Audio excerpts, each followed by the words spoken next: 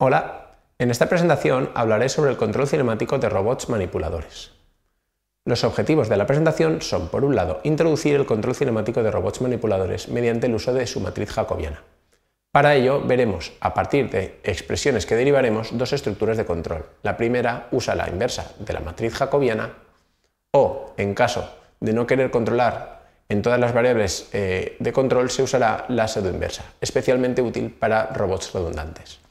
Además, introduciremos la matemática para la implementación de un sencillo control proporcional sobre el error del efector final, con prealimentación de la velocidad de referencia. Para finalizar, realizaremos una comparativa entre los diferentes controladores cinemáticos sometidos a diferentes tareas.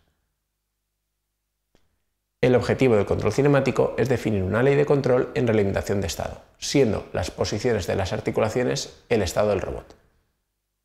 Esta ley proporcionará una expresión de velocidades que deben detener las articulaciones para que el efector final siga una trayectoria definida en el espacio de trabajo del robot, es decir, una trayectoria definida para las tres coordenadas de posición cartesianas, P, y las tres orientaciones definidas por ángulos de Euler-Phi en este caso.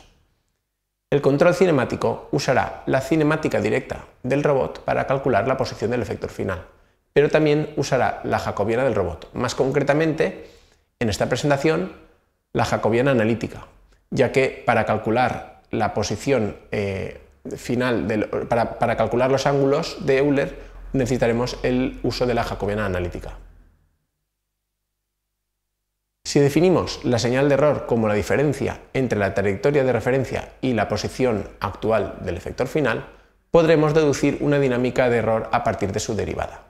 Evidentemente, la derivada del error es la diferencia entre la velocidad de la trayectoria y la velocidad del efector final, que, gracias a la cinemática diferencial, podremos expresar como una función que depende de q y de la derivada de q, y que se convertirá en realidad en la ley de control para calcular eh, que el error tienda a cero. Se trata de, eh, o el objetivo es diseñar una matriz de realimentación del error que garantice que el error tienda a cero, desprendiciendo, en este caso, las no linealidades eh, del error. Por tanto, una ley de control puede obtenerse a partir de la ecuación dinámica del error, reemplazando las expresiones correspondientes del error y su derivada, obteniendo una ley de control proporcional con prealimentación de la velocidad de referencia.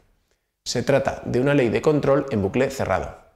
El principal requisito para poder aplicar esta expresión es que la jacobiana del robot sea invertible y por tanto no esté en una configuración singular. La estructura de este controlador con la inversa de la jacobiana es tal y como se muestra en la figura. Como se puede apreciar, se requiere no solo de la trayectoria, sino también de su derivada que por lo general no será difícil obtener a partir de eh, lo que ya vimos que era el generador de trayectorias, que permitía eh, generar trayectorias de posición pero también de velocidad. Al tratarse de un control cinemático, la acción de control es la velocidad de las articulaciones y esta se asume que se aplica a la perfección sobre el robot. En un robot real, estos serían comandos de velocidad que enviaríamos al controlador del robot y este se encargará, mediante el control de bajo nivel de que la articulación siga la referencia de velocidad que hemos indicado. La dinámica de este controlador debe ser lo suficientemente rápida para asegurarse que no entra en conflicto con la dinámica impuesta por el controlador cinemático, ya que, para el controlador cinemático, el robot se comporta como un puro integrador. En este ejemplo, vemos la trayectoria del efector final de un brazo robótico que se mueve primero en línea recta a una esquina del cuadrado y luego realiza una trayectoria con forma de cuadrado de 100 milímetros de lado. Las trayectorias han sido generadas usando expresiones cúbicas en el espacio cartesiano, de forma que cada 5 segundos debe alcanzar una esquina diferente del cuadrado. Como se puede apreciar, la trayectoria descrita eh, por el robot, dibujada en negro en la figura de la izquierda, se ajusta perfectamente al cuadrado que hemos definido, en parte porque el error de inicio con respecto a la trayectoria es cero y también porque los errores como consecuencia de las no linealidades del robot son perfectamente asumidos por el controlador cinemático. En este caso, se está realizando no solo un control de posición del efector final, sino que también se ejerce un control sobre la orientación, tal y como se aprecia en la figura de la izquierda y en la del medio. La orientación del efector final se mantiene constante, a cero, en todo momento, porque esto es lo que se especifica en la propia trayectoria. En ocasiones, La matriz jacobiana no es una matriz cuadrada porque el robot dispone de más grados de libertad que la tarea a ejecutar, o sencillamente la matriz jacobiana no es invertible, por encontrarse en una situación singular. En ese caso, se puede usar la pseudoinversa en vez de la inversa de la matriz jacobiana, que podría proporcionar una solución correcta impidiendo al menos eh, los problemas numéricos que presenta eh, la eh, inversa de la, de la jacobiana. Esto permite, por ejemplo, realizar un control sobre menos variables, si eliminamos ciertas filas de la matriz jacobiana, de los vectores de referencia, del modelo cinemático, etc. En definitiva, esto es lo que condiciona la tarea que debe realizar el robot. De hecho, la pseudo inversa proporcionará la solución de mínimos cuadrados con menor norma de q punto, es decir, la derivada de q. Pero pueden existir otras soluciones que cumplan con la tarea principal y que al mismo tiempo traten de evitar los límites de las propias articulaciones o evitar determinada región en el espacio de configuraciones, para evitar una colisión, por ejemplo. Esto lo veremos después en otra presentación. En cualquier caso, veamos dos ejemplos concretos. Si, por ejemplo, nuestra tarea consiste en posicionar el efector final, pero no nos importa la orientación, utilizaremos las tres primeras filas de la matriz jacobiana, así como las tres primeras filas del vector x, xref, xref punto, etc. Si por el contrario queremos que la herramienta esté perpendicular a un plano horizontal pero no nos importa la orientación en Z de la herramienta, de su eje final, como pudiera ser, por ejemplo, en el caso de una operación de taladrado, entonces usaremos las primeras cinco filas de, las matrices o vectores correspondientes, dejando la orientación gamma, que es eh, la, orientación de este eje Z, totalmente libre. Es decir, que no nos importa su orientación.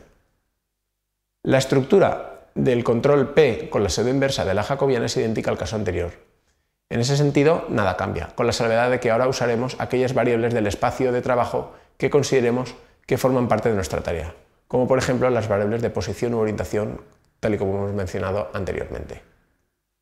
De hecho, aquí vemos un ejemplo para el caso en el que eh, realizamos un control de posición y orientación, pero la gama es libre.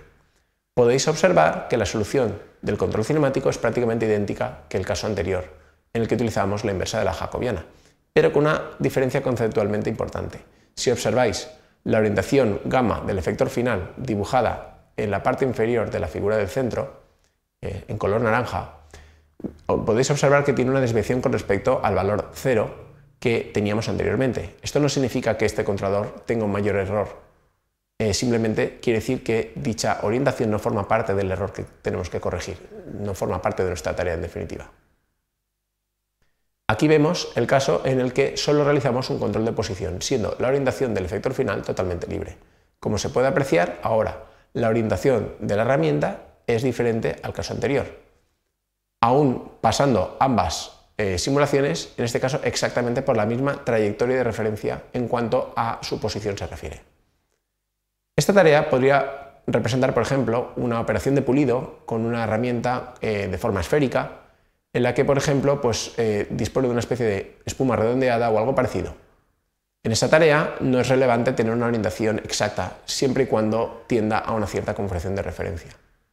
Podemos aprovechar esta relajación para conseguir que las articulaciones tomen otros valores para evitar, por ejemplo, singularidades u otros aspectos que creamos convenientes.